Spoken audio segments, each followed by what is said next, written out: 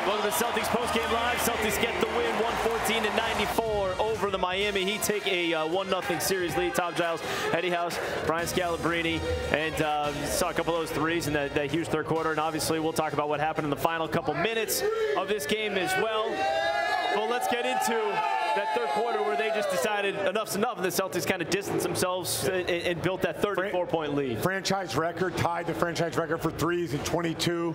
They got them all night. They they knocked down shots. I mean, the only thing we could even complain about with this team today is at the end, just letting go of the rope a little bit. But this team right now, they were clicking on all cylinders, and throughout this game, they had their game plan and they played with a ton of confidence. Yeah, and they're, they're, it seemed like Miami's Heat main focus was Jayson Tatum not going to be the guy to beat We're going to send two at times. You've seen three leaning over in his direction. He made the right play, ended up with 10 assists, got the triple double that uh, that you that he was looking for.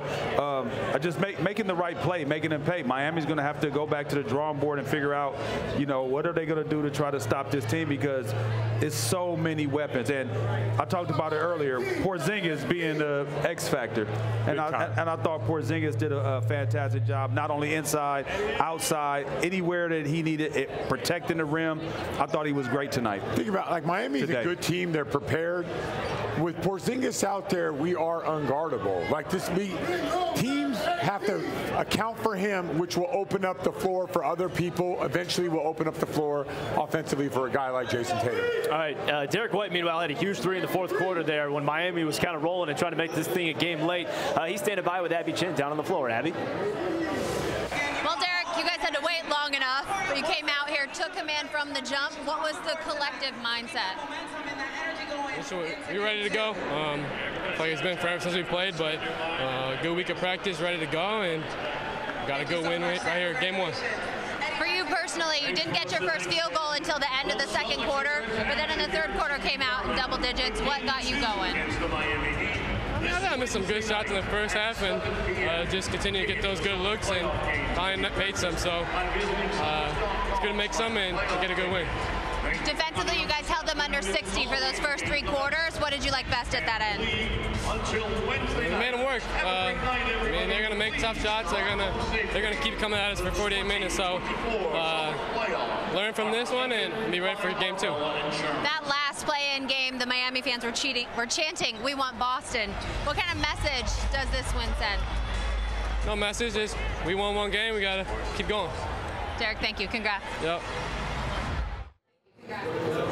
All right, Scout mentioned 22 threes for the Celtics, uh, which ties a uh, postseason franchise record, 22 of 49. So they're not just getting and making 22 threes, but they're making them at a, at a high clip as well. Then. Yeah, well, they're moving the basketball. They had 27 assists, and, and they were just making the right play. And if it wasn't the pass that led to the shot, it was the hockey assist, or it was the double hockey assist, I would call it. You pass to me, I pass to him, he hit somebody else. You went one and it pass to him. Like if I why pass I'm you, you giving got to skip and go to What's up Kevin. with that? Or what? No, why don't just shoot it? Yeah, you might as well I'ma because that's shoot what yeah, that's what they should do. One thing is, with this team, with the shooting, they have the weapons and they're very unselfish and they got great spacing. We were at times, me and Eddie would talk last year. Man, our spacing's not good. Like we're not going to be able to win like this. We, I don't like playing five out. This year it's completely different. They have the bodies. They have the guys coming off the bench to knock down threes. Like this team is really clicking. All right, now, now let's get to what we saw there in the final couple minutes because Miami trying to make a game of it. And again, still had the Celtic starters out there. Is you know the Heat were able to chip away, and uh, Jayson Tatum going up for a rebound with about 90 seconds to go, and, and Caleb Martin crashing into him. You saw Tatum bounce up right away, Scal. But what did you make of that uh, of that play? Break it down. I mean, I don't want to break it down while we're knocking down all those threes, but here it is right here. Look at. All right, the only thing I would say about this is, I'm not trying to start nothing here, but I'm just.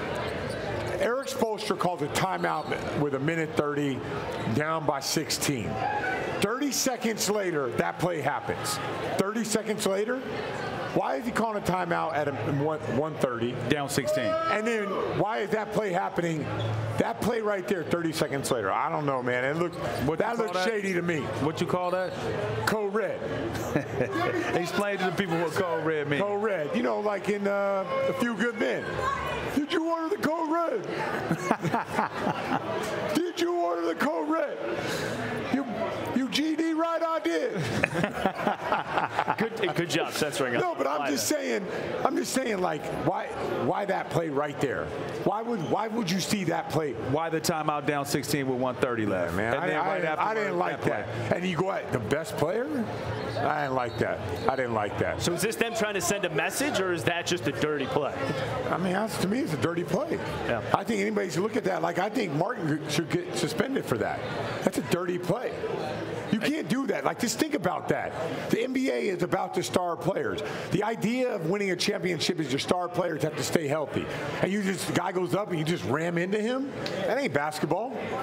No, that wasn't basketball. And you know, uh, fortunately, nothing happened to Jayson Tatum back up. because it could it, it could have been bad. And you know, to be honest with you, we were up 30 some points, and if they just take care of business the first two minutes, three minutes Sure. of that th- uh, fourth quarter, then those guys shouldn't even be out there. Yeah, you right. know, but you know, they again, I think they kind of let go of. The, I mean, it's it's tough, human nature. You're blowing a team out, the crowd, everything's feeling good. Guys stop moving the ball, taking shots, not paying attention on defense the same way, a bunch of backdoor cuts Sure. and things like that. But we still were able to get the win by 20. I- This is the thing I love about this game is that every time Miami made a a run, a, a mini run, we responded, you know, and we responded with defense, defense that led to offense, not just offense and offense and offense or ma- trading buckets. We got stops after stops and then we scored on them. Well, when asked about it afterwards, Jayson Tatum did. Uh, his, his first response was, "That's playoff basketball." But I, I, I'm, hadn't I'm seen the curious. replay. Yeah, I'm, well, I'm curious how how it impacts the rest of the series. Number one, the NBA has to take a look. I don't know if they're going to fine him or not. I don't know if they're going to suspend him, but like that's not that's not a basketball play. I don't I don't care what anybody says. Like if it, just ramming into a guy that's jumping for a rebound, did he go for the rebound? Did he jump? It wasn't over the back. He trucked him. That's weak. To me, that's weak.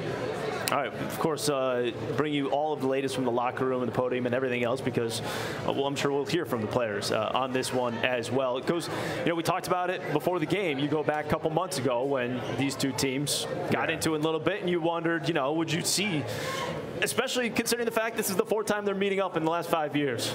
Yeah, I, I thought that they would probably bring up that whole issue. I haven't heard the national media talk about it. We talked about it on this show, but the whole Duncan Robinson, uh, Jaylen Brown situation.